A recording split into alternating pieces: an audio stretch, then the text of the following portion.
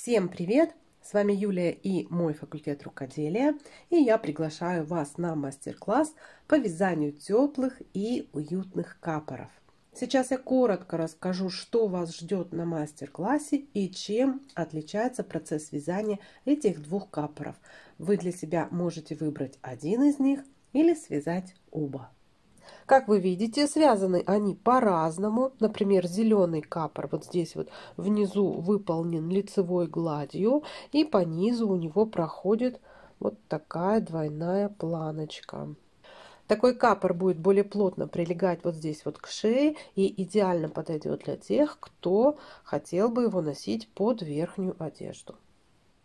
У второго капора Нижняя часть связана английской резинкой, она более объемная и при желании этот капор можно будет надеть как под верхнюю одежду, так и сверху, например, если у вас воротник стойка.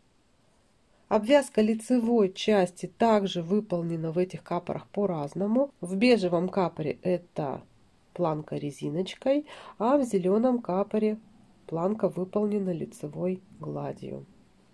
И это только те моменты, которые явно видны. В процессе изучения материалов вы поймете, что тонкостей намного больше. Вы сможете применить свои знания и по желанию скомбинировать разные техники, получив в итоге свое индивидуальное изделие. Я очень подробно все описала в видеоуроках, и те этапы работы, где есть отличия, записаны дважды. В своих уроках я рассказываю, как подобрать инструменты, как выбрать пряжу, как правильно связать образец и высчитать петельную пробу. Также я рассказываю, как сделать расчеты, чтобы у вас было понимание.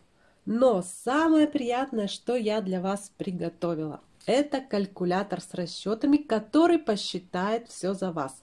Вам нужно всего лишь снять одну единственную мерку, внести ее в калькулятор – и можно начинать вязать.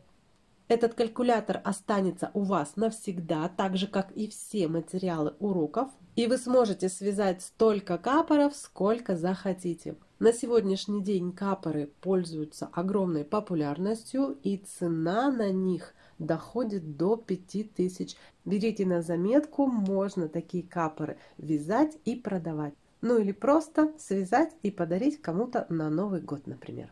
Уверяю, у вас все получится. И если вы еще никогда не вязали капоры, я жду вас на мастер-классе. Ссылка внизу.